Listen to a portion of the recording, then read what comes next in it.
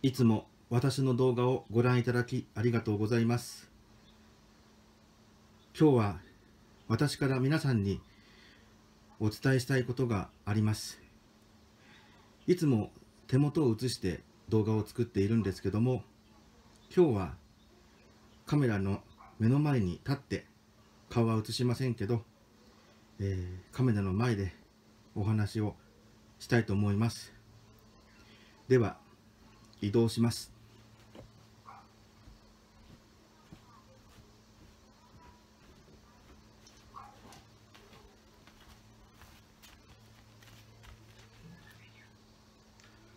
はい。えー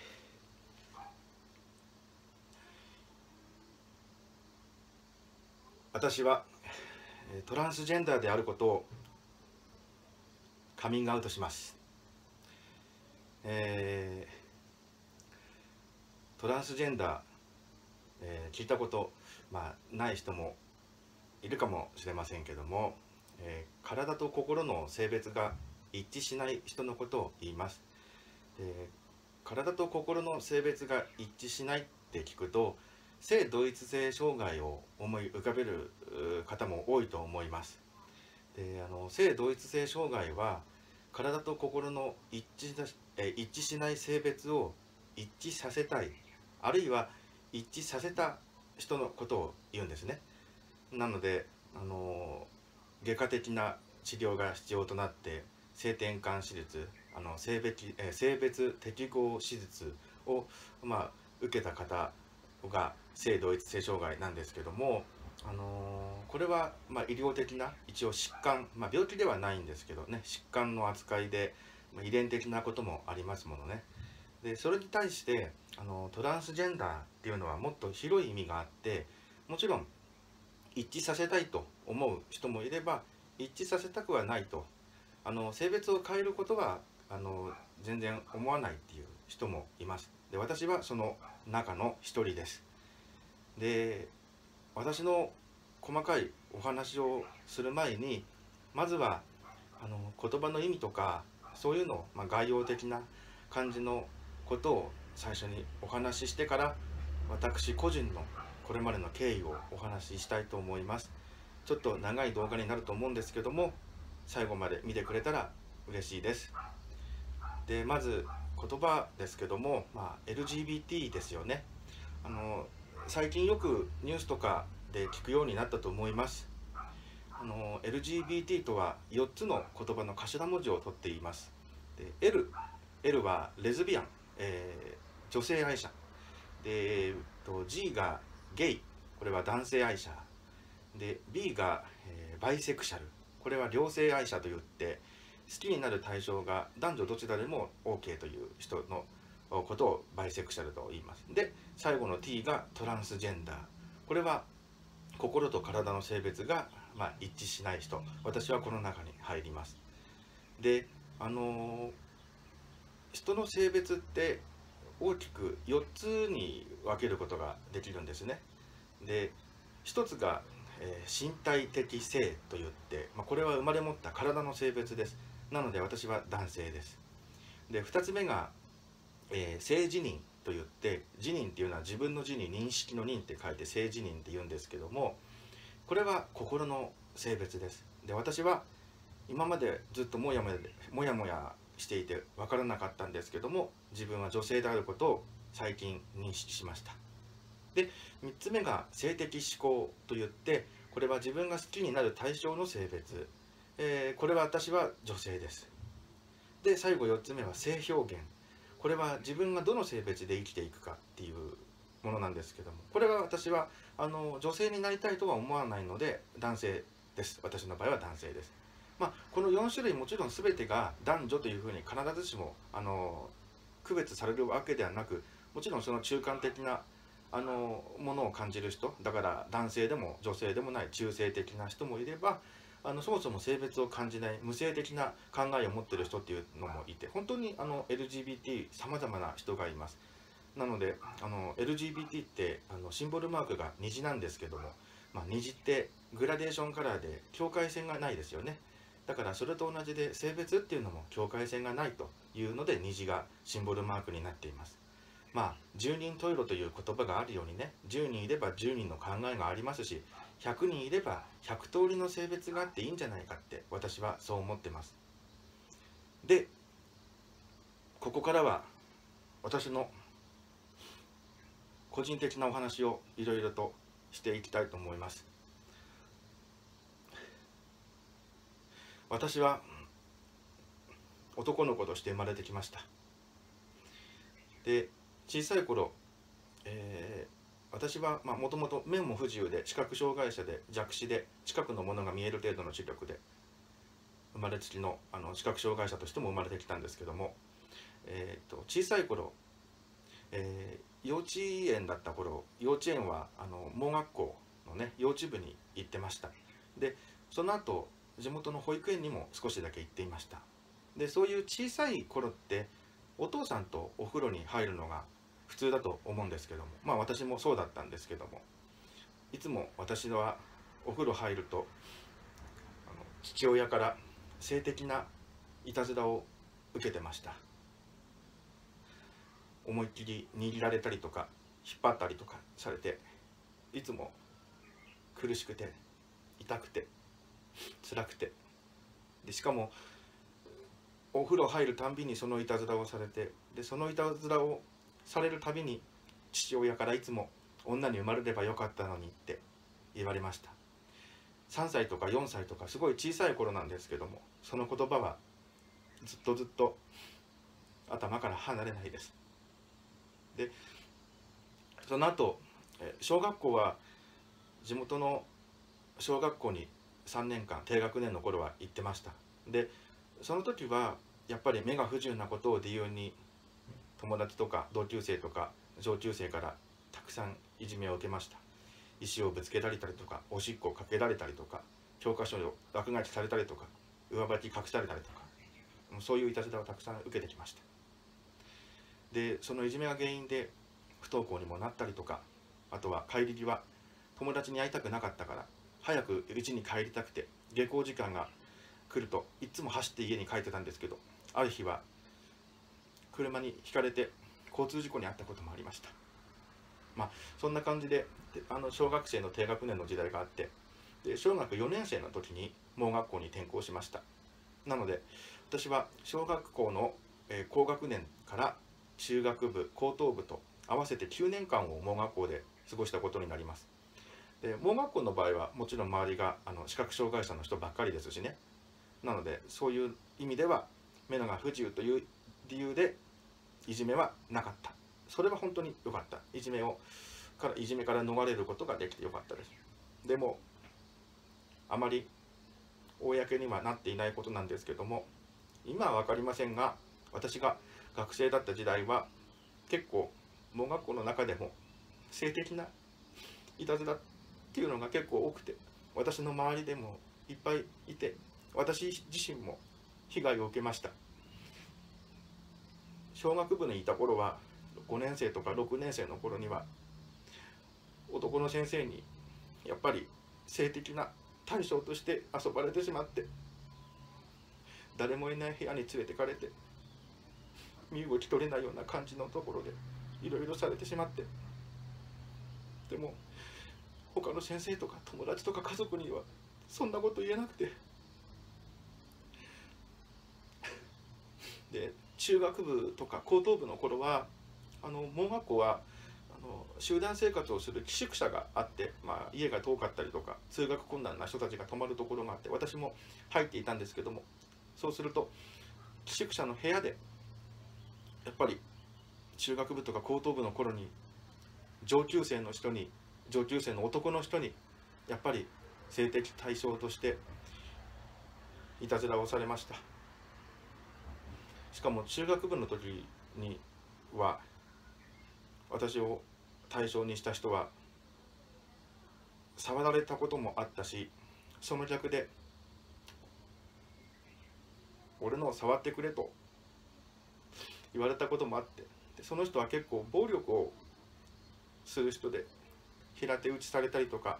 頭叩かれたりとかそういうことをするので逆らうと何されるか分からなくて従うしかなくてやっぱり父親の頃と同じでこういうことは誰にも言えなくて。しかもなんでいつも自分はそういう対象にそういう対象になってしまうんだろうって思いながら10代を10代までずっと過ごしてました。それでこういうことがあって私男なのに男性恐怖症になりました。よくあの女性の人がね昔のことがトラウマであの男性恐怖症になるっていうのはあると思うんですけど私はこういう経験があって男性恐怖症で周りの男の人が怖くなりました。あの寄宿舎で集団生活なのでお風呂一緒に入る時間があるんですけど私はいつも他の人に会いたくなくて夕ご飯が終わるとすぐにお風呂入ってました。なるべく他の人に鉢合わせしたくなくて男同士でも裸を見られるのがとっても嫌で今まで受けた経験でなんかもう自分の体がすごく汚いものだって常に汚されたものを身につけず身につけているような感覚になってしまって自分が自信がなくなってであの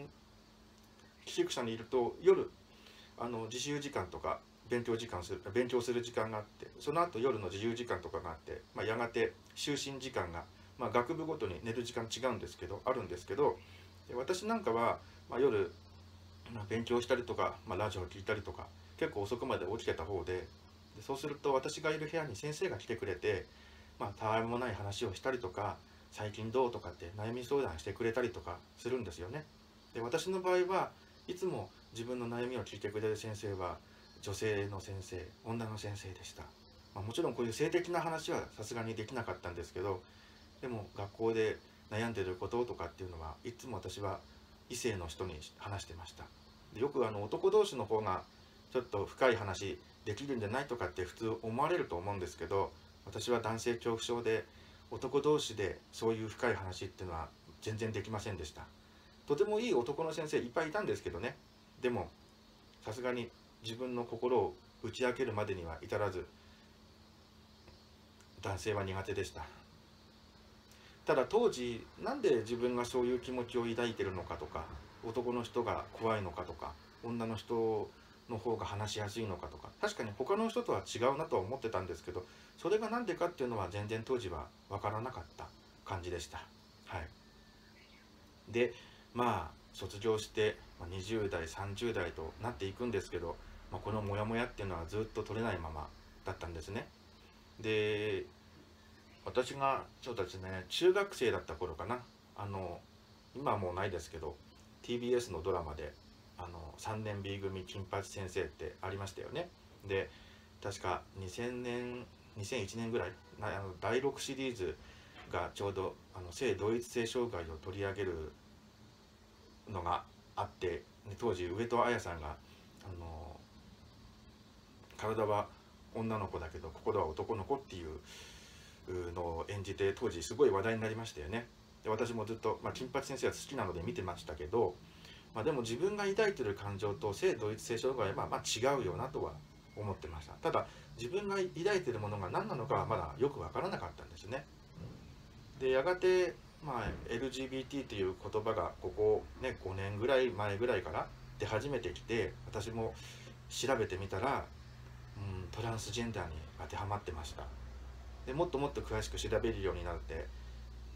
あそういえば小さい頃から、うん、可愛いものぬいぐるみとか大好きだしキラキラ光ってるものとかまあ宝石持ってはいないけどすごい大好きだしあとはおままごともしてたし折り紙とか今もビーズにはまっててそういう大好きなんですね。で男らしくとか女らしくとかって言葉が大嫌いで何もかも男女で二分化するのがすごい違和感を感じてたんですね。男は青で女は赤ってなんでそう決めつけるんだろうとか私も赤大好きだしピンクだって別に好きだしねで,、うん、で女の子はスカート男の子は別ズボン男の子はスカート履いちゃいけないっていう決まりはないじゃないですか。で最近になってねあのジェンダーフリーであの企業とかあとは学校の制服であの女の子もズボン選べるようになったって結構ニュースになってますよね。じゃあなんでその逆はダメなのかなって。男の子だってスカート履いていいよねって私は思うんですね。で調べてみたらあの島根県のとある高校ではあの男子生徒でもスカートが選べるっていうところがあってでそれを履いてる男の子がいてでその子は別にトランスジェンダーの子じゃなくて普通の男の子だけどまあファッションの一つとしてスカートを選ぶ権利はあるっていうそれは私あの NHK の記事ネットの記事で見たんですけどそれを見てすごいあの感銘を受けたというかあのいい高校だなって理解があるところだなってもし自分がそこにいたら絶対スカートを選んでたなって思ってたんですね。で私がそういうふうに女性を女性をあの憧れの対象に好きとはまた別で憧れの対象に抱くようになってでテレビでドラマ見て女優さんが出てたりとかあとニュース見て女子アナが出てるとあの変な意味じゃなくてねああ可愛いなとかあの服着てみたいなとかスカート履いてみたいななんて思うようになってきたんですね。でほんとつい最近のお話なんですけどももう自分の心に蓋をしたくない。さらけ出してみたいと思って初めて Amazon でスカートを買ってみてで届いてで先日誰もいない部屋でね 履いてみました。まあそれがこれスカートなんですけども初めてスカート履いたらもうとっても嬉しくてとっても嬉しくてもうやっぱり自分は女の子だったって。やっとなんか自分自身でその性別とあの心と体の性別が一致しないっていうことを認めることができたっていう瞬間で今 LGBT っていうね言葉が出てきたけど10年ぐらい前とかまでだったらきっと自分が思ってる感情っていうのは人に言えば偏見を受けて変態とか気持ち悪いとか絶対そう言われると思ってずっとずっと我慢してたんですけどでもやっぱりおかしくなかったって思ったんですね。でネットとかでもっともっと LGBT のこととかトランスジェンダーのこととかやっぱ調べたらやっぱり私と同じような思いを思ってる人っていうのは世の中にいっぱいいて YouTube でもそういう人たちの動画たくさん見て勇気づけられて。でやっぱり自分の気持ちが分かったらこれはもう隠したくないし自分らしさっていうのがやっと分かったからこれは人に伝えなくちゃって思うようになってカミングアウトをすることを考え始めました。で カミングアウトについてもいろいろ調べました。であのやっぱりするしないはもちろん本人の自由ですしあのメリットもあればデメリットもあるっていうのも承知の上で。で先日まずはあの SNS ツイッターであのいつも絡んでくれている人たちにこのスカート履いてる姿写真撮ってツイートしたんですね。カミングアウトをツイートしたらもう嬉しいコメントがいっぱい来て勇気出しましたねとか自分らしく生きてくださいとかいろんな人がいて不思議じゃないですとか多様性はあっていいと思いますとかもうそういう嬉しいコメントがいっぱい来て自分は間違ってないって確信しました。今度は自分の口から自分の言葉で気持ちを伝えたいと思うようになって先週いつも私をいつも面倒を見てくれている姉に勇気を出してカミングアウトしました。すごいドキドキしてどういうふうにどんなふうに話せばいいかとかずっとイメージトレーニングを繰り返して。で同じように今私がお話ししたことを全て姉に伝えました。でも心配していたことは全然なくて全部最後まで聞いてくれて受け入れてくれてスカート履けてとっても嬉しかったっていうふうに最後まで伝えることができました。でこの動画を撮っている前の日、まあ、昨日なんですけども今度は家族とか親戚じゃない中で一番お世話になっている人に同じようにカミングアウトしました。やっぱりそのなかなかそういうこういう性のことって人に言うのってすっごくすっごく勇気がいることでもうこの12週間私勇気いっぱい出しまくってなんか気持ちがもうめちゃくちゃになってるんですけどもでも自分らしさを全て伝えることができて受け入れてもらえて本当に良かったなと思います。でもうここまで来たらやっぱり動画で動画をいつも見てくださってる皆さんに私の気持ちを伝えたくて今回このカミングアウトの動画を作りました。で私は Twitter とかあとはこの YouTube とかも通してあの視覚障害者であることは一切隠すつもりはありません。昔はちょっととある人によくそんなこと堂々と言えるねって言われたこともあったんですけどもまあ目が不自由なことっていうのは今後も変わることはないしそれを分かった上で見てもらいたいしもしもなんだあの人目が悪いのかとかって思われて離れていけばああその人はそこまでなんだなと思うようにもなりました。なので今回のこの LGBT のことトランスジェンダーのことも私はオープンにしていこうと思いました。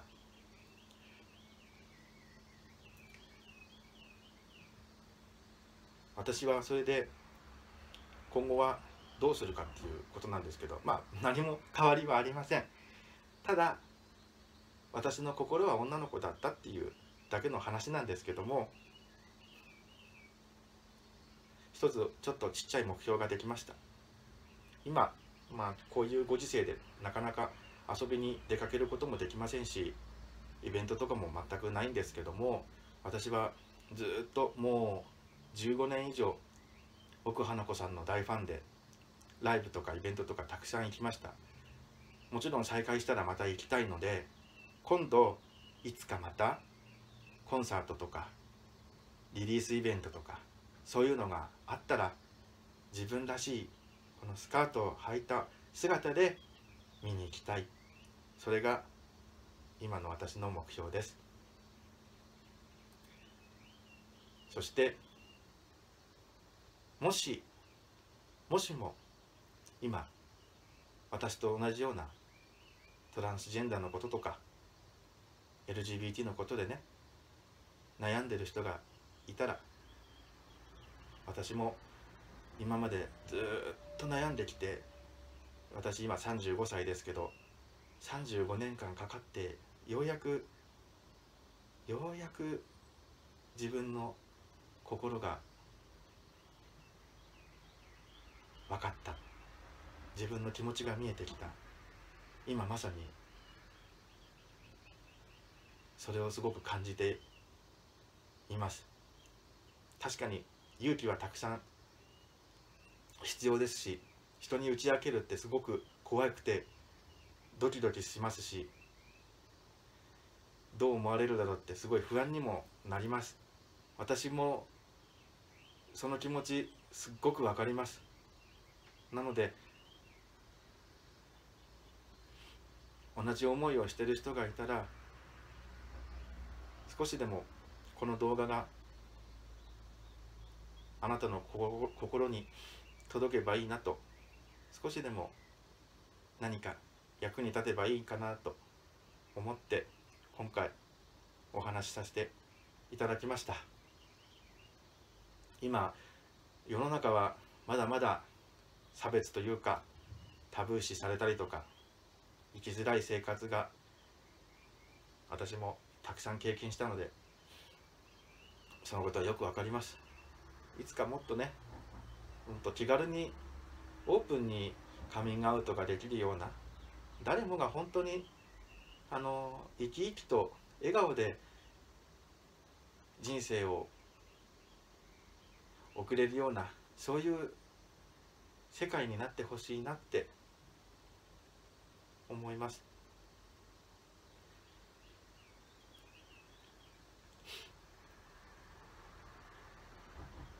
まあ私は引き続き YouTube いつものようにねやっていきますけども今回はしっかり皆さんにお話できたかなと思います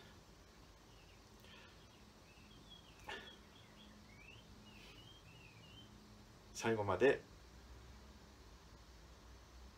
ご覧いただきありがとうございました。